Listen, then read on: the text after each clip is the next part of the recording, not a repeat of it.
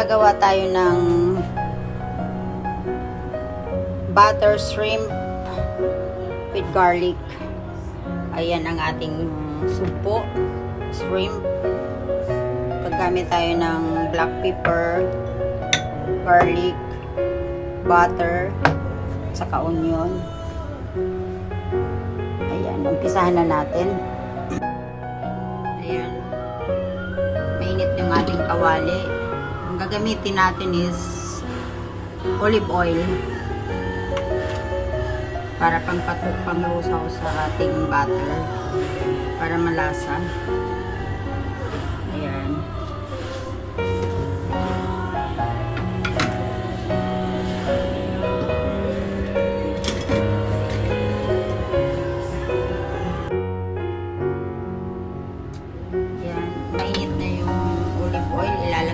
Natin yung butter.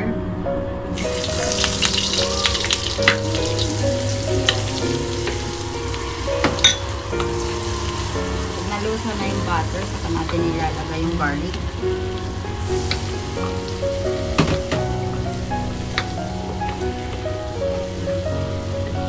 Maraming butter, maraming sarap. Ayan, ilagay na natin garlic.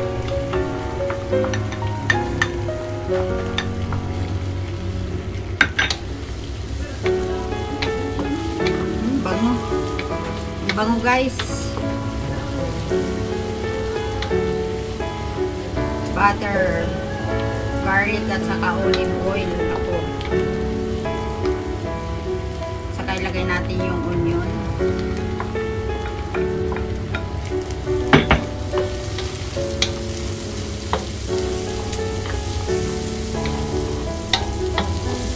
Ito lagi nilang nire-request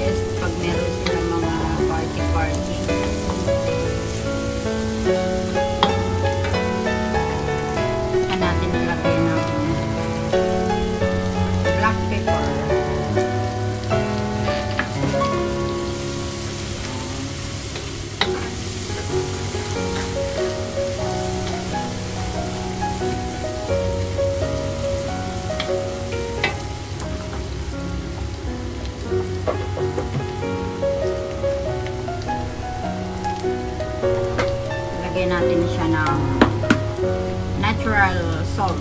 Asin na lang. Lagyan na lang ng asin guys. Salt. Ayan, konting salt. Organic salt kasi to. O, di ba? Social ng ating kusina.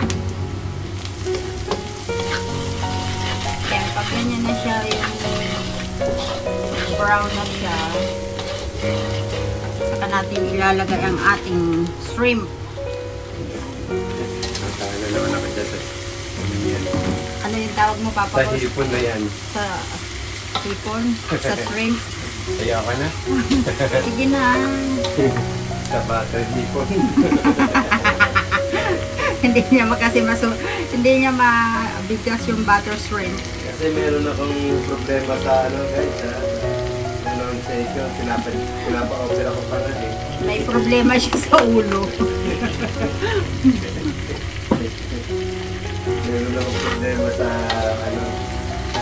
Ganyan lang yan guys, kasimple. Napakasarap niyan.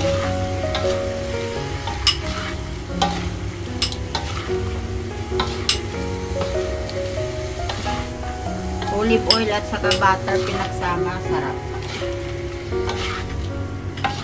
Lalo pag may kasama pagmamahal yan. Oh, syempre, hindi nawawala yun. Ang ating pagmamahal. Pag Twitter ka, palayan mo na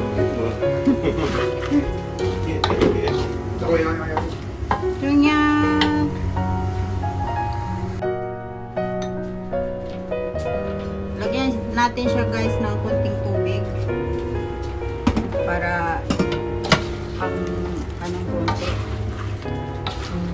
pang laga-lagang konti ayan yung sabaw niya kulay dilaw guys